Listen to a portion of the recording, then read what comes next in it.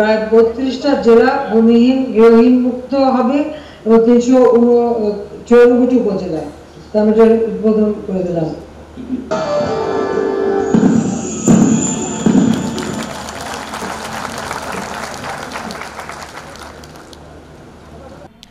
আজ প্রধানমন্ত্রী শেখ হাসিনা একশো সাতান্নটি প্রকল্প ও দশ হাজার একচল্লিশটি অবকাঠামো উন্নয়নের শুভ উদ্বোধন ঘোষণা করেন।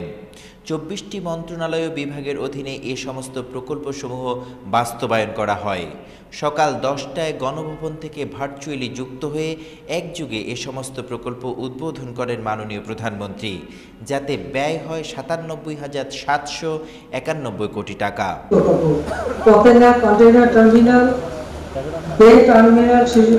প্রকল্প এর মধ্যে চট্টগ্রামের Patenga container terminal way terminal ও এলিভেটেড এক্সপ্রেসওয়ে সহ চট্টগ্রামের বারোটি প্রকল্প অন্তর্ভুক্ত ছিল। অন্যান্য বিভাগ ও জেলার মতো চট্টগ্রামের পতেঙ্গা কন্টেনার টার্মিনাল থেকে সরাসরি যুক্ত ছিল এই উদ্বোধনী অনুষ্ঠানে। সেখানে বন্দর কর্তৃপক্ষের পাশাপাশি চট্টগ্রামের স্থানীয় সংসদ ও গণ্যমান্য ব্যক্তিরা উপস্থিত ছিলেন। প্রকল্পসমূহের মধ্যে অন্তর্ভুক্ত ছিল ভূমিহীন স্বামী ও স্ত্রীর মধ্যে ভূমির দলিল হস্তান্তর করা। নতুন করে এগারোটি জেলা ও ষাটটি উপজেলাকে গৃহহীন ও ভূমিহীন মুক্ত ঘোষণা করেন প্রধানমন্ত্রী। মানে টাঙ্গাইল মুন্সিগঞ্জ নারায়ণগঞ্জ কিশোরগঞ্জ, জামালপুর, ব্রাহ্মণবাড়িয়া, মেহেরপুর, ঝিনাইদহ, পটুয়াখালী, সিলেট, মৌলভীবাজার। এই এগারোটি।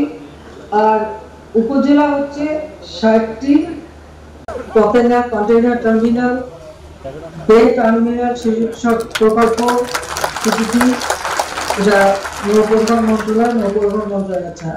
চট্টগ্রাম শহরের লালখান বাজার রুটে আমানত বিমানবন্দর পর্যন্ত mayor Mohiuddin Chowdhury CDA expressway নির্মাণ।